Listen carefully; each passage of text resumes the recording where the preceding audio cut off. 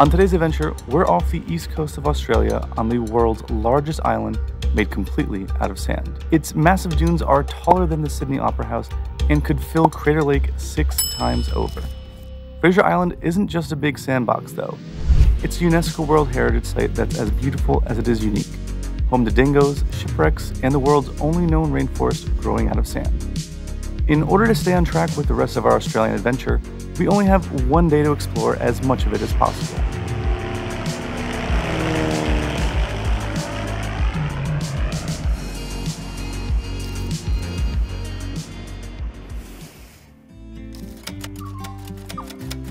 Good morning and welcome back to Australia. When you last saw us, we were probably somewhere west of Melbourne, and today we are starting our next road trip in Australia from a very different location with some very different views. We flew into Brisbane, we rented a car, and we drove to Hervey Bay because today we are going to Fraser Island. I am so excited for this tour. We're actually going on a full day tour and it's a four wheel drive bus, so we'll see how that goes. And the rest of this road trip, we are going to be camping most of the time out of this tent because we had to say goodbye to our camper van Taz. And behind us here, we have our new rental car, which is going to get us all the way up north to Con. Cans? Cans. Get, get us all the way up north. What is it? Cans. Cans. Cans. Think Cairns, but without the R. Oh, I'm still terrible Cans. at all of these. But we're taking this car north to Cairns to see the Great Barrier Reef. But right now we're only in Hervey Bay, over 1,600 miles from our northern destination in Cairns. Over the next few days, we have some unforgettable Australian adventures planned, so be sure to subscribe so you don't miss out. But that's to come. Today, we need to pack up our tent and get to the boat.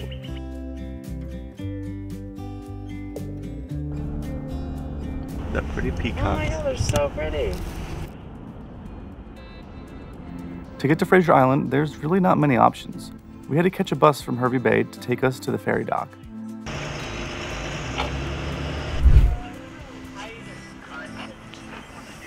With all the cars and us loaded, we settled in for our morning ride.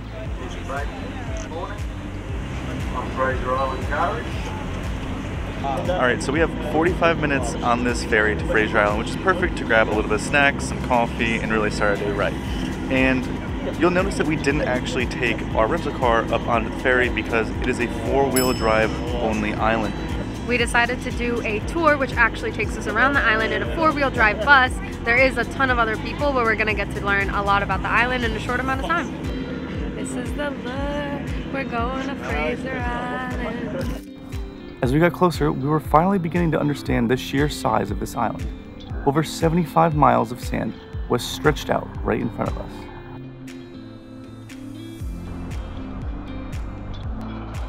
Lucky for us, our ride was well equipped for the raw and rugged terrain of the island. So behind us is our 4x4 bus, and it is an absolute beast. We just spent about an hour driving across this entire island, which was way bigger than I thought it would be, and we drove through this massive wooded forest. It was very, very cool and pretty bumpy.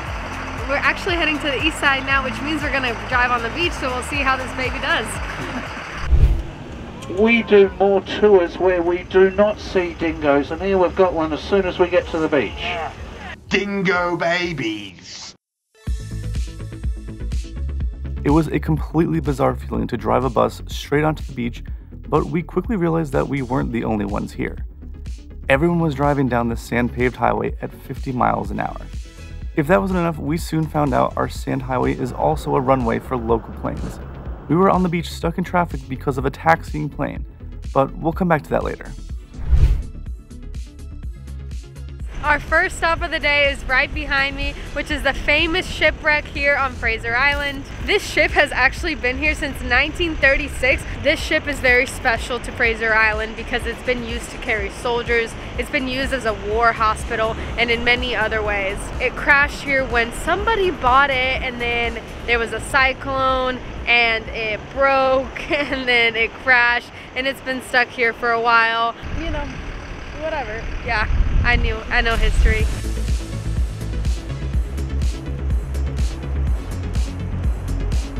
This stop has really highlighted that traveling with a group, while is less expensive, you do get no place to yourself, and everywhere you go, there is a whole group of people with you. And this might be an obvious thing, but for us, we usually travel alone, so this is a very new experience for us. It is deteriorating really, really fast, and you're not allowed to touch it, you're not allowed to go on it. If you come visit, just let it be, let the history rest, and just enjoy it from afar. On to the next one.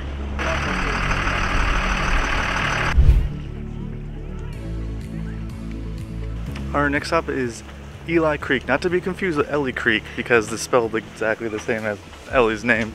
It's a freshwater creek that starts from inland where the sand is a lot more saturated with water and it works its way out to the ocean. It's a super popular spot, tons of people here.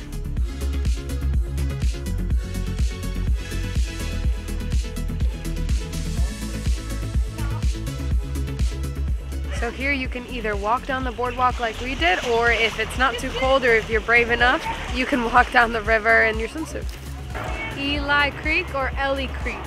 Ellie Creek.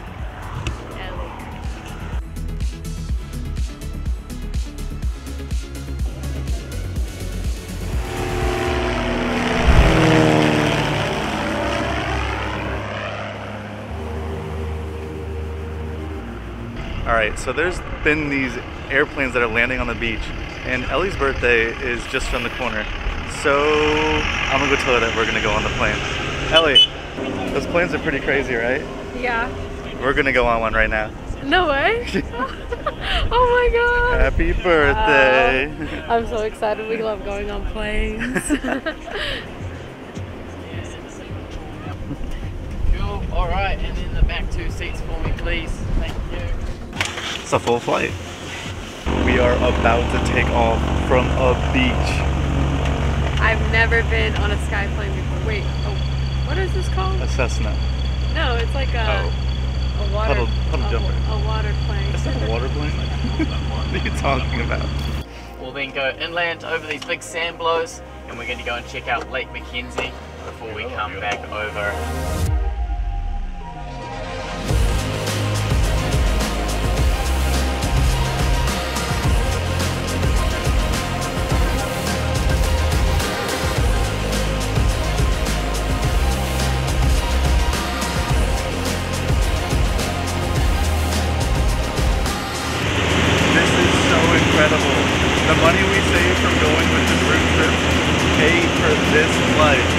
So worth it. So worth it. Just look.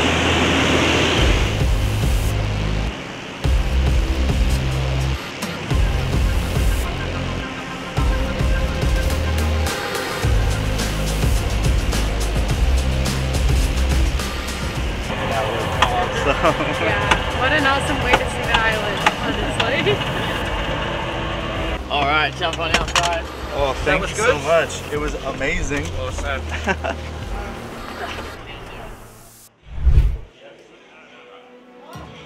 One of the really cool benefits about going on a bus for Fraser Island is that you get a free lunch and it's a lot of food. So, you know, dig in. All the meals and transportation to and from the island are included. So you're honestly saving a lot more than just the tour itself. The other option you have for Fraser Island is if you rent a four-wheel drive and drive it to the island yourself and you're gonna have to pay for that fare, you're gonna have to pay for your own meals, and you're probably not gonna have enough money to do the flight that we did. So, you know, overall it's been really positive experience for us, but definitely if you have a little bit of money to spare, I would do the four-wheel drive just because it's really hard for us to stay in one location longer than like five minutes. You don't get a say in where you go, how long you stay, and there's a lot of people on the bus different age ranges and it's just it's definitely not as adventurous as we normally like our trips but overall a good experience so far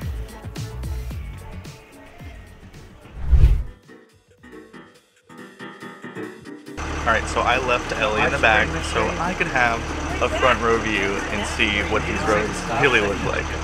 We'll show you. I cannot stress enough just how bumpy and crazy these roads were. Our driver Hayden was an absolute legend flying through the trees at top speed. That's sad. No one can hear. I feel like it's a much bumpier ride up in the front. And just watching the way that he drives, it feels like he's like cruising. Like I would never drive this fast on these roads, let alone with a bus. Heavy present day Sydney. How long have you been driving here? 15 years. 15 years. Is it because you're from the area? Oh no, I moved here when I got the job. Uh-huh. Yeah, yeah. But that's why they pay him the big bucks. We made it to our next stop and riding the front was pretty awesome. Did you miss me? Yeah. Aww. Central Station is really, really interesting because it is the only place in the world where a rainforest grows out of sand. Yes, because this entire island is sand and there is a rainforest here, it had to grow out of the sand. It's really crazy. So Central Station used to be a center for harvesting of the trees in the area and there was several companies that would just basically deforest these areas and sell the wood. But then it became a UNESCO World Heritage Site because of the uniqueness of it being the only rainforest that can grow in sand. So we're exploring that right now.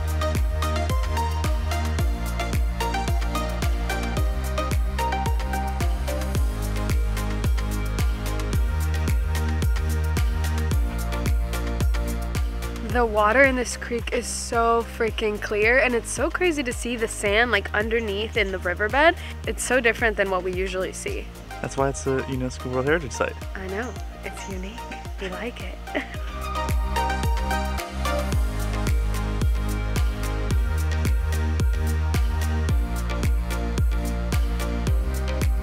We were so amazed by the rainforest that we lost track of time and almost lost our group. They're gonna leave us. They're gonna leave us.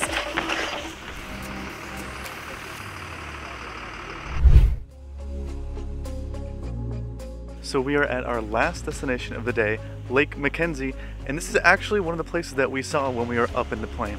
It's supposed to be absolutely gorgeous, so let's go check it out.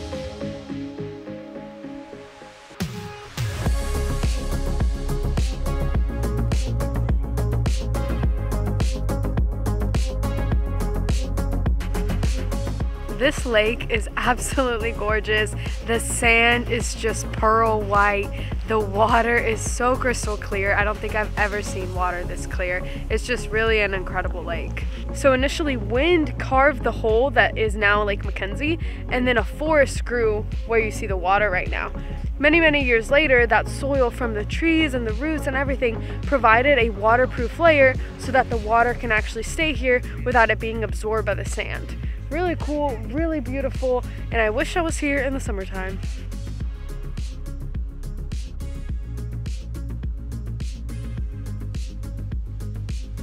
And for an island that's made entirely of sand, I am absolutely amazed with how diverse it is.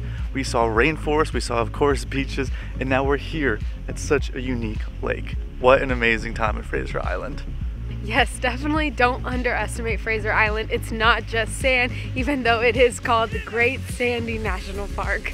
And as the sun starts to go down, we have got a ferry to catch and a very long drive ahead of us. We are continuing our drive up the east coast of Australia, so if you want to follow along, please subscribe and like this video. So, we'll see you next time on today's adventure. Bye. Bye.